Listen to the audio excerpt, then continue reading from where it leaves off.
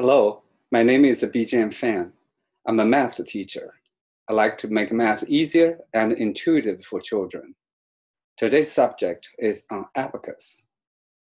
Why abacus? Well, English language hinders children in number development, counting, and arithmetic. Abacus visualizes the numbers and bypasses the linguistic hindrance. Here's why. Our numeral system is organized in a base 10 structure and recurring pattern. 10 rows and 10 columns get you to 99. There are only 10 single-digit numbers, 0 to 9. Other numbers are just combination of those 10 numbers. Number 0 to 9 in the first row recur in every row in the ones digit. In the first column, number 1 to 9 recur in every column in the tenth digit. Children learn numbers through words, but the English words for teens are problematic. Unlike numbers, words 1 to 9 recur in every row except the second. Words in first column except 10 recur in every column. The teens in particular form a block that stumbled our kids because they're inconsistent with a regular number pattern. In Asian languages, such as Chinese, the words 10-1, 10-2 to 10-9 are consistent with the regular pattern of numbers. The regularity is intuitive for children to grasp. One remedy is to teach our kids the regular words first, like the Chinese words. After they conceptualize these words, teach English words as nickname. The nickname for 10-1 is 11. The nickname for 10-2 is 12, and so forth, until the nickname for 10-9 is 19. The regular words reveal the base 10 structure and recurring pattern. The nicknames would fit in the daily life. Here are several number misconceptions due to irregular words. It is common for children to write 14 as 41 because of phonetics. 4 comes first and 10 is second. Besides the sequence, it's confusing to translate the 10 into a concrete number. Children often perceive 12 as a single digit number because it is one word.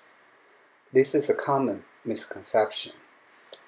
Asian kids rarely make the same mistake because 10-2 are two words, which naturally translate into two places or two digits. As kids grow into addition, it is common for them to perceive 12 as a one-digit number because it is one word. They often struggle in learning how to make 10 for carry. For Asian kids, 10-2 are two words. It's intuitive for them to think two places. So make 10 for carry comes naturally for them. They are two years ahead of our kids in learning make 10 strategy. Language is the root cause. Abacus visualizes numbers. The columns represent the digits.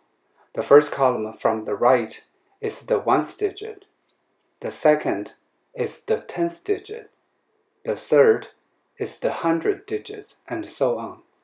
This arrangement conforms to our numeral system. There are five beads on a rod. Each upper bead represents a value of 5. Each lower bead represents a value of 1. The horizontal beam is a counting beam. Beads are counted when they touch the counting beam. Right now, no bead touches the beam. All columns are zeros. The upper bead's phi is like a tally mark, which makes counting easier. Juggling 10 numbers is difficult. Abacus uses five beads to represent 10 numbers in every column. The upper bead also develops number relations. 5 and 1 make 6. 5 and 2 make 7. 5 and 3 make 8. 5 and 4 make 9. Let's count to 20. 1, two, three, four. The lower beads are used up. Let's move up to the upper bead. Clear the four lower beads and move down the upper bead. This is five. Continue six, seven, eight, nine. Now all beads are used up in this column. We have to move to the next column. Clear all the beads in this column. Move on to the next column, 10. Next, repeat on the first column, 10 1 or 11, 10 2 or 12, 10 3, 10 4. Clear 4 for 5, 10 5 or 15, 10 6, 10 7, 10 8, 10 9. All beads are used up in this column. Move on to next column. Clear all beads. S10 to the next column. That's 20. What is this number? That's 25. How about this one? 5 and 2 is 7. That's a 75.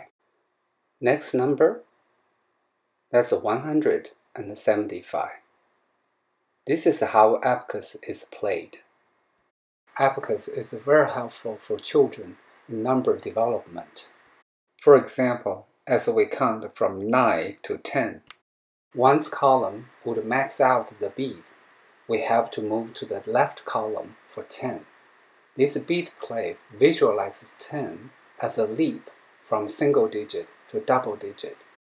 It conceptualizes base 10 structure. For 11, the beads display a relation to 10 and 1. This would help our kids in particular to make sense of teens and their relations to 10.